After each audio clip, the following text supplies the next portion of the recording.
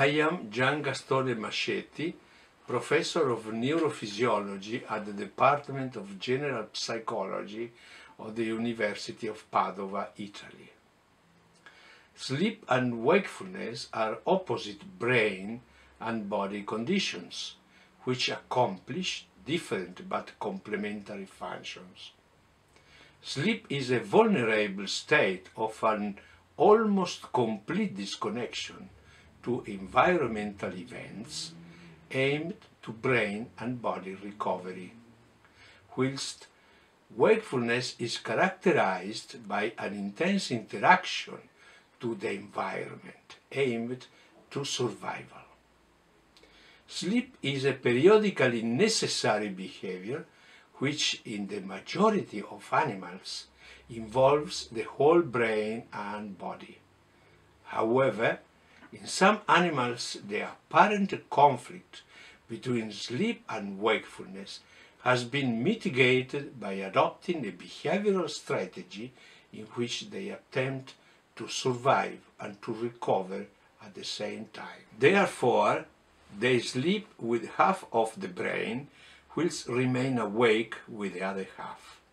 In other terms, they show unihemispheric sleep, currently accompanied by an asymmetric eye closure. The hemisphere connected to the open eye shows an EEG pattern of wakefulness, whilst the hemisphere connected to the closed eye shows an EEG pattern of slow wave sleep. Cetaceans, like dolphins, show exclusively unihemispheric sleep, and it was the solution they adopted when they decided to return to aquatic environment.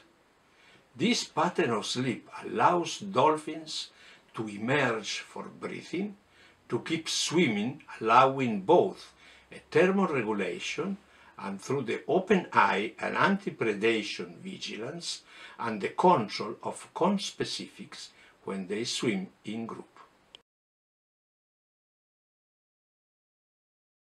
In eared seals and birds, such as domestic chicks and mallard ducks, unihemispheric sleep events are intermingled with bihemispheric ones, accompanied by asymmetric eye closure, and it is mainly associated to control of environment and anti-predation vigilance.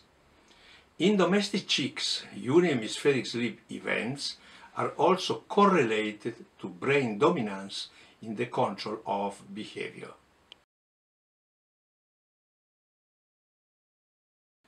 The neural mechanism of unihemispheric sleep are unknown, but they may be based on the interaction among structures of the hypothalamus, basal forebrain and brain stem. During an unihemispheric sleep event, the neural mechanism promoting wakefulness would dominate on one side of the brain, whilst those promoting sleep would predominate on the other side.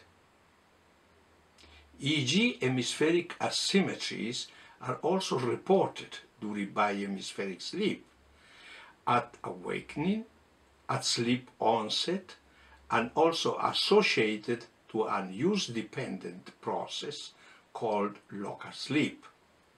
In other terms, when one part of the brain is highly stimulated during wakefulness, that part would subsequently have more sleep than other parts less or not at all activated.